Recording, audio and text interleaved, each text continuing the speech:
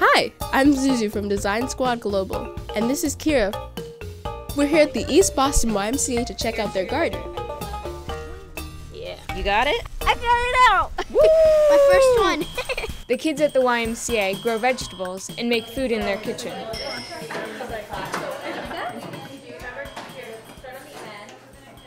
In cities, there isn't a lot of space, so they make the most of their space by using one bed to grow their vegetables. It actually likes that. Their garden needs healthy soil to help the plants grow.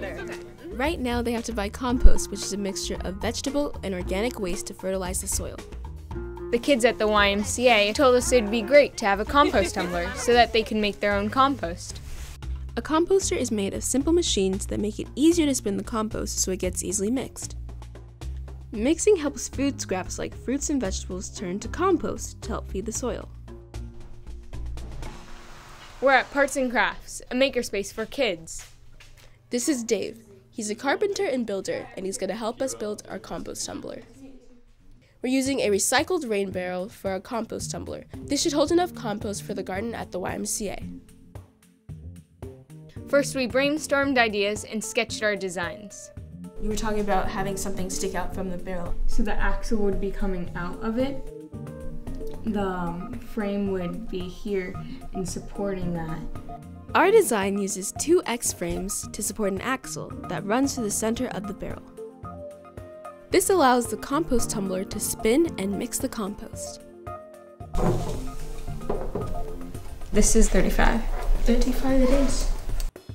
We measured all the parts of our design so that we could start building.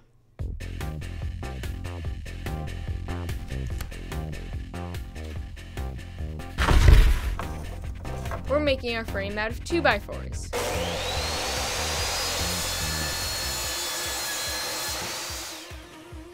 Our frame is two X's linked by two braces.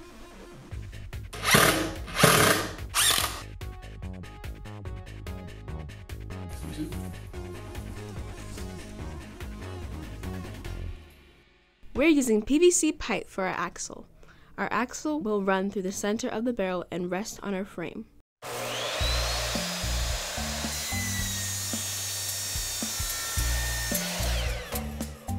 Now we need to find the exact center of the end of the barrel so that we drill our axle holes in the right spot.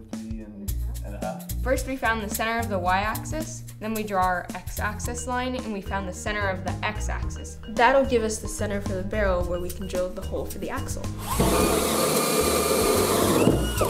Good job.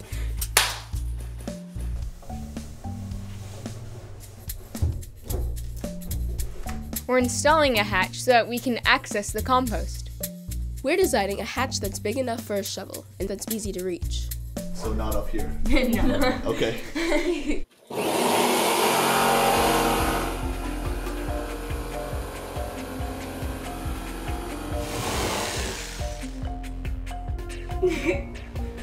We use nuts and bolts to attach the hinges.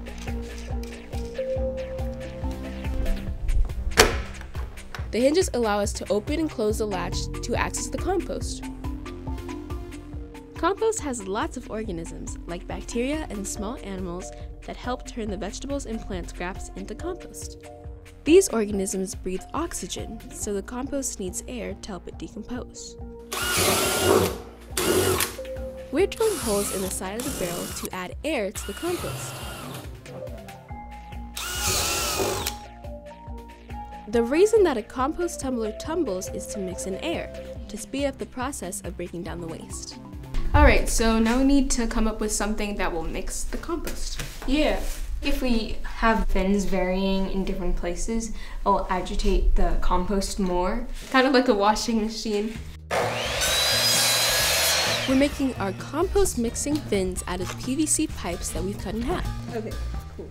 So, We're varying the size and spacing of our fins inside the tumbler so the compost will be thoroughly mixed when the kids at the YMCA turn it. I like your guys' placement. Good job.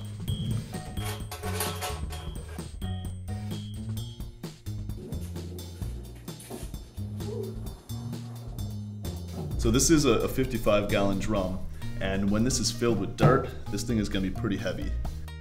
we added a crank handle to the barrel so it's easier to turn when it's full of compost.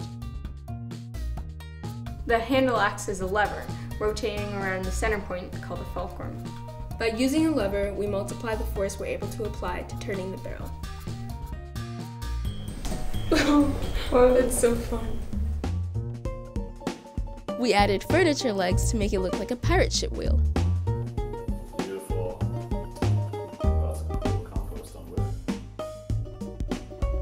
Now it's time to show the kids at the YMCA their new compost tumbler.